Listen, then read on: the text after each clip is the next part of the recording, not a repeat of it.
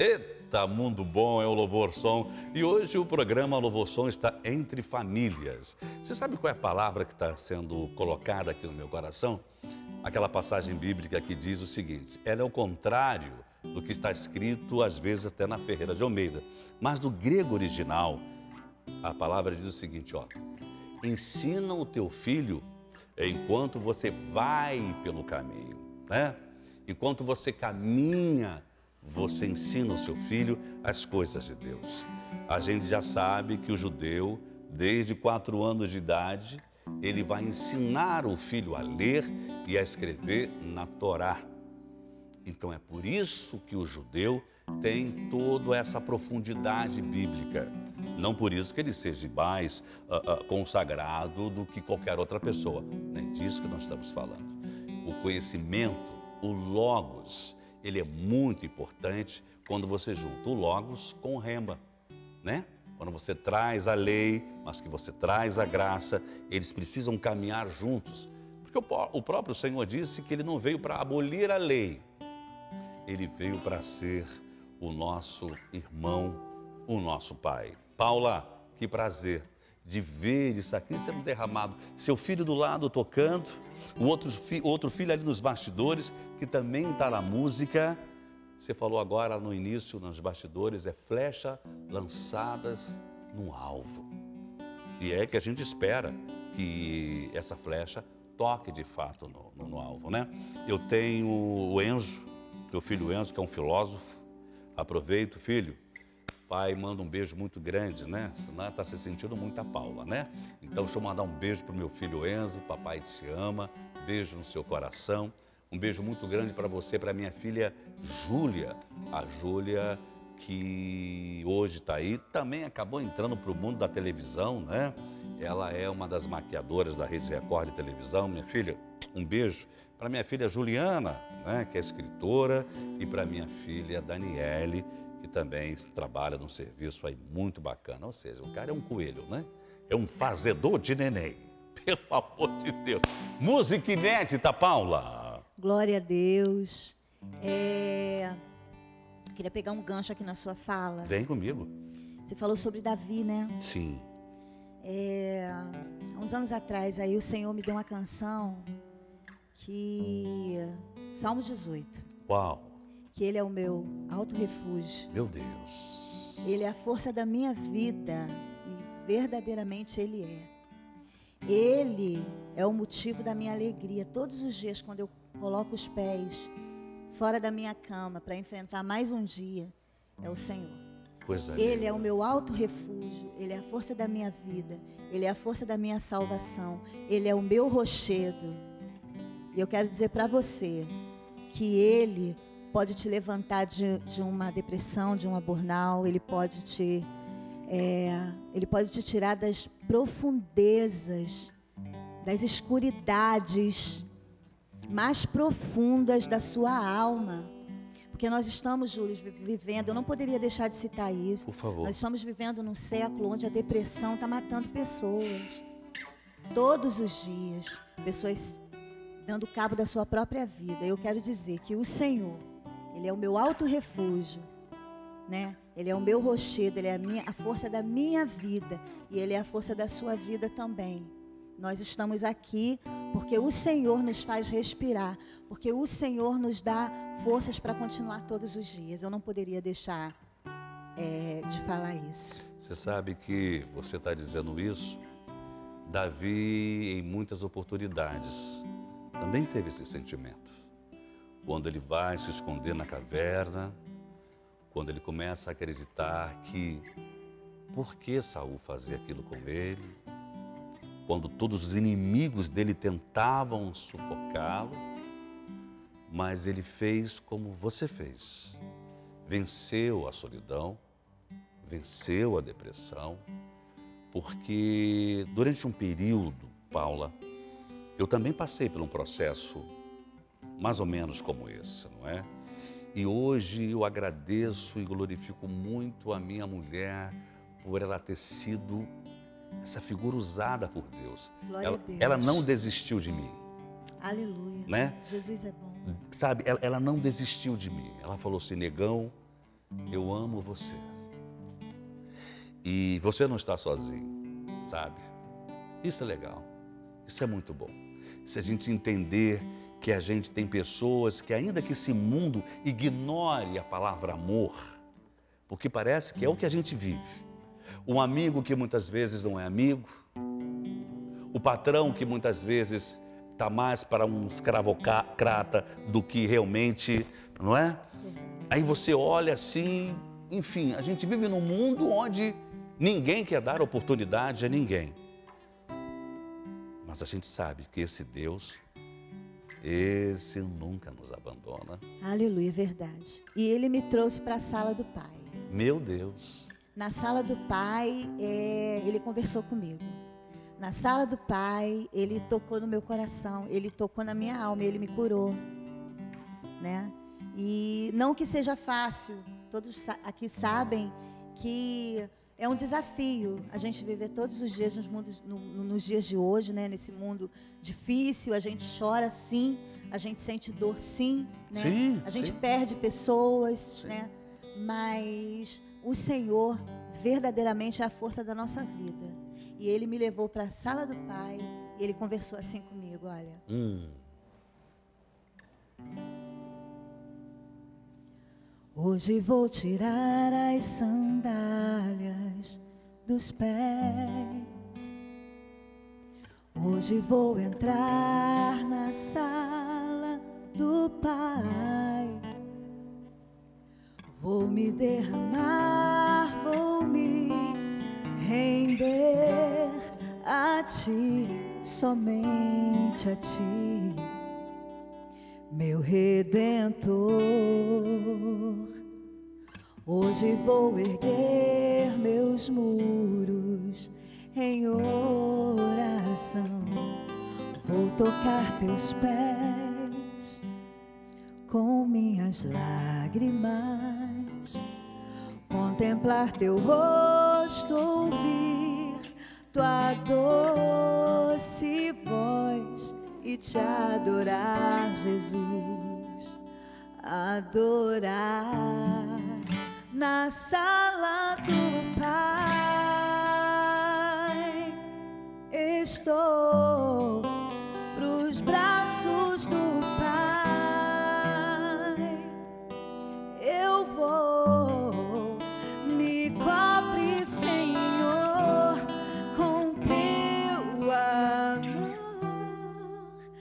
Tuas vestes eu vou tocar.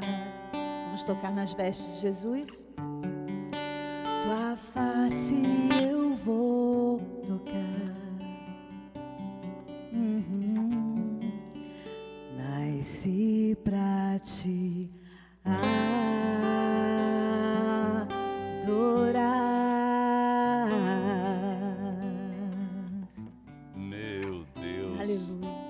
Coisa linda, né? Me lembrou do, da mulher do fluxo de sangue, né? Isso. Ela vai lá e toca nas vestes. E dessa passagem, uma coisa que eu acho interessante, que as pessoas às vezes não se atentam, quando ela toca nas vestes, Deus tira o foco dela das vestes e diz: A tua fé te salvou. Glória a Deus. Porque existia uma palavra que o mestre, nas vestes de todo mestre, existia uma cinta azul com, tipo, não é- é bem um pompom, mas com uma- umas mechas caídas, né? Então dizia a palavra que se você tocasse nas vestes do Pai, você seria curado, do mestre. Então ela vai lá daquele jeito, certamente de burca, porque ela, durante anos, vertia sangue e ela foi muito corajosa.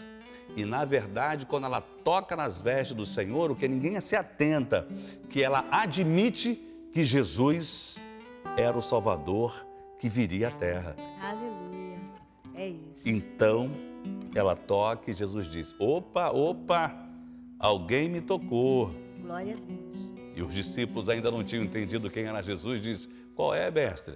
Tá brincando? Tá de bobe? A turma toda tá te apertando aí, rapaz. Aí Jesus: Não, meu filho, você ainda vai aprender mais sobre mim. Alguém me tocou porque saiu virtude de mim. Então, assim deve ser a nossa oração. Orarmos por orar é melhor não orar. Mas quando a gente quer ser ouvido por Pai, é orar para que toque no coração dele. É verdade. Coisa linda. Tem outra música inédita? Tem? Tenho sim. Tem. Linda essa música. Isso já está gravada essa a música? Sala do Pai é o próximo single, né? É o próximo single. Sim. Meu Deus. Sala do Pai, eu Ah. orei ao Senhor e pedi para Ele me... Porque são muitas músicas. Achei Nossa, linda. é, a gente compõe muito nesse período de... é, é, de solidão de alma, né? De Verdade, processo ali, verdade. onde o Senhor está te processando para te ensinar Oh, que nas adversidades, que, que nos momentos mais difíceis Ele está com você. Tá. Sim, eu Cê- sou sobrevivente de muitas cirurgias até aqui. É, E isso ainda estou no processo. coisa linda. Mas o Senhor é, como eu falei antes, né? Ele é a força da nossa vida. Você falou sobre Davi, desculpa eu estender. Davi, depois que vence, que Saul procura ele, cara, a gente já falou isso aqui no programa, ele vai para o povo dos filisteus se esconder. Na verdade, ele vai aprender técnicas de luta. Ele vai para a concorrência para sacar qual é aquela parada que rolava lá, porque os caras eram guerrilheiros, né? E ele então, na sua tristeza, no seu medo, na sua caverna, o que ele faz? Aprender. Aprender, né? Eu até costumo dizer que alguns pastores, deixa eu falar com você aqui, chega aqui rapidinho em casa, alguns pastores precisariam voltar a aprender e alguns que nunca aprenderam deveriam aprender mais sobre todo esse processo. O amor é a maior resposta para todas as coisas. Igreja cheia é bom, mas o melhor é uma igreja cheia de pessoas convertidas na palavra do Senhor. Eu tenho estado muito preocupado com os desigrejados, com os caras que têm ido para a igreja e metido o pé por não suportarem a forma inóspida que são tratadas. Então, pastores, estamos juntos? Vamos olhar isso, vamos olhar para a igreja, vamos olhar para aquela irmãzinha, né? Vamos olhar com mais amor para todo mundo. Aquele que tem, aquele que não tem, aquele que nada tem, aquele que saiu da igreja, doido, e que tu esqueceu que o cara saiu da igreja. Liga para ele, vai lá, compra um bombom, uma bala juquinha, leva pro cara, rapaz. Né? Isso é amor, meu irmão.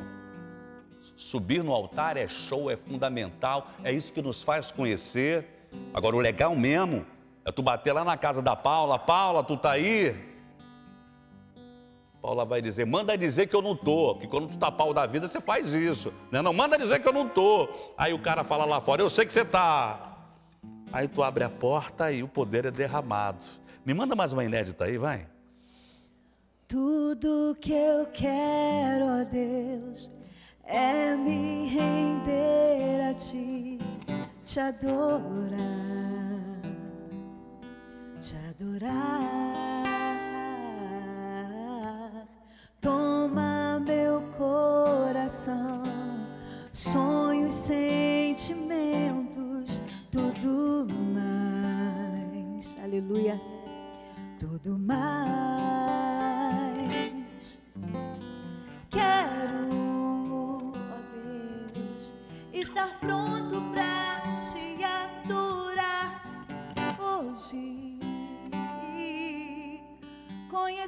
conhecer-te muito mais.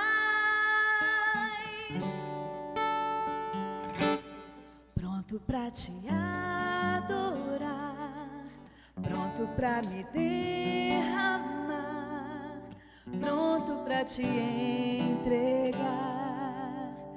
A minha vida por inteiro, abrir mão de mim por ti, tudo só pra te seguir, alcançar o teu perdão te exaltar, ó Deus, e alcançar teu coração.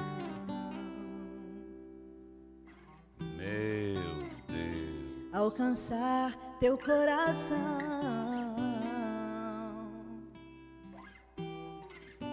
Alcançar teu coração.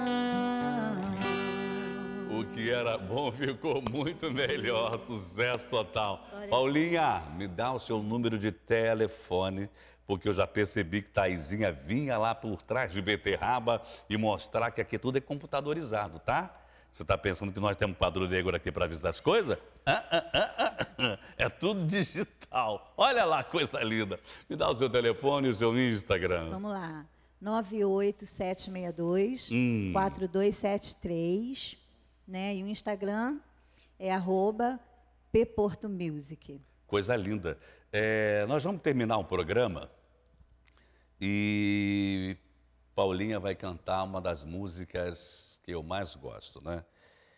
Música chamada Palavras, né? A gente estava aqui batendo um papo, Júlio. Eu devo cantar esse momento com a banda, eu devo cantar essa música uh, uh, com, com Mateus, né? E a gente estava batendo um papo aqui antes, né? É... DG, eu queria te fazer um pedido. Eu não sei se a câmera 2, eu vou pedir para a Camila dar um pulinho aqui, para falar aqui comigo, ao meu lado. Eu vou encerrar a, o programa aqui na câmera 2, mas ela vai entrar. Só tu dá uma, uma preparada aí. Gente, eu quero dizer para você, se você, no, na, no espaço Revelação, se você realmente gosta de cantar, se você quer estar junto conosco, aqui está passando um telefone da nossa produção, você vai marcar com Taizinha, a Taizinha vai bater um papo com você e você tem a possibilidade é, de estar conosco. E quem sabe, com certeza, se tornar uma das grandes cantoras como Paula Porto. E eu acho muito válido, se Paula puder, estar no nosso programa de Natal que nós vamos gravar dia 29. Taizinha depois vai estar uh, tá falando com, com, com, com Paula. Essa música Palavras, para mim, resume o processo todo. Processo todo. É, quero te agradecer demais, Paula, por estar aqui. Eu que agradeço, Júlio. Prazer enorme. Muito, muito feliz de te rever né? um amigo de longa, longa data, conhece a minha história, a minha trajetória até aqui, né? Um grande amigo, muito querido. Deus te abençoe. Você é muito grande, viu? Muito obrigado, filha. Obrigado de verdade. Mateuzinho, beijo no coração. Bom caminho esse que você está seguindo, viu? Ao lado de sua mãe, seu irmão. Sucesso total. Camila está aqui. Eu vou aqui falar para dois agora. Dá um pulinho aqui, Camila. Eu quero nós estávamos falando aqui, Paula me deixou umas coisas assim maravilhosas de mensagens. Eu quero primeiro apresentar para todo o Brasil a minha crioula, a nega que segura a minha onda, que está comigo e que no momento mais complicado da minha vida, ela falou: Sai, Júlio, eu estou contigo. Né? Que você diga à sua mulher, que você diga à sua noiva, que você diga à pessoa que você ama o quanto ela é importante. Darei um beijo nos lábios desta mulher. Prepare essa boca, mulher. Para com isso. Brasil, sucesso total. E já já, Paula Porto com a música Palavras. Palavras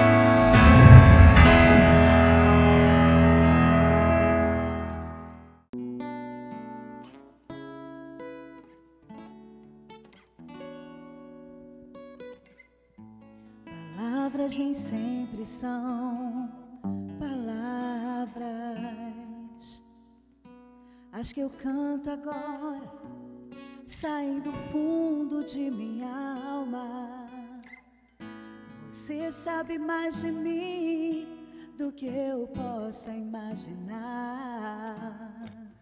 Jesus, vou sempre te amar. Você está sempre ao meu lado. Eu sinto seu amor em todo lugar. Campo ou na cidade, ouço claro a sua voz, intercedendo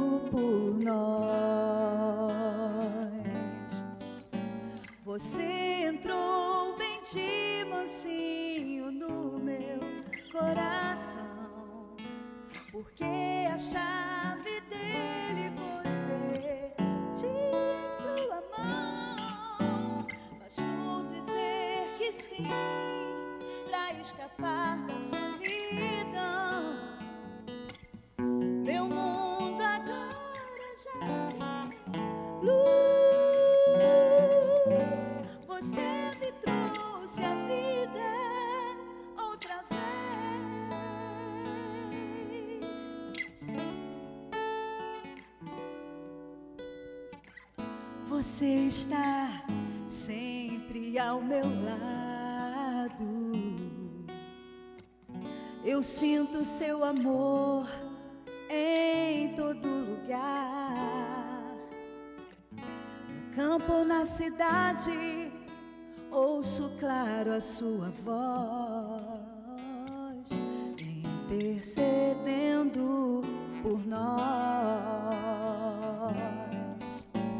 Você entrou bem de mansinho no meu coração, porque a chave dele você tinha em sua mão.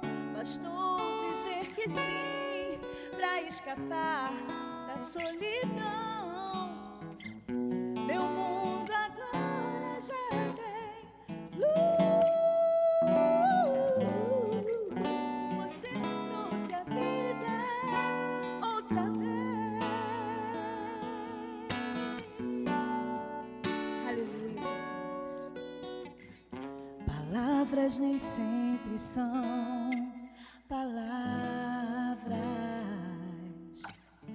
As que eu canto agora saem do fundo de minha alma. Você sabe mais de mim do que eu possa imaginar.